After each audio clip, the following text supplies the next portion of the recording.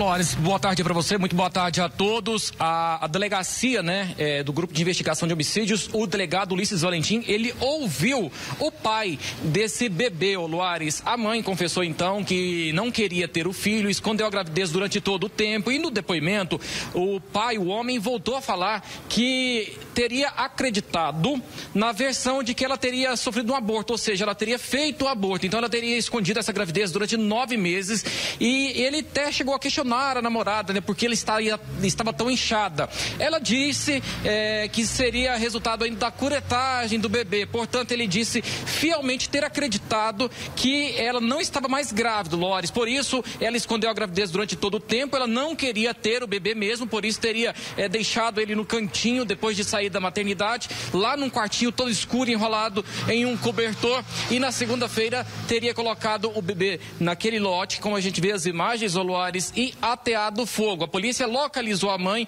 na quarta-feira, é, horas depois de ter sido encontrado o corpinho do bebê parcialmente queimado. O Loares, o delegado Ulisses Valentim, ele disse que o, o, continua investigando esse caso, então eles querem descobrir ainda é, se o bebê morreu no quartinho ou se foi em decorrência é, do fogo, ou seja, carbonizado. Por quê? Foi solicitado o exame cadavérico que ainda não ficou pronto. Portanto, a polícia quer saber em qual momento o bebê morreu. Se foi em casa, quando a mãe teria deixado ele abandonado sozinho no quarto, ou se foi no lote ainda.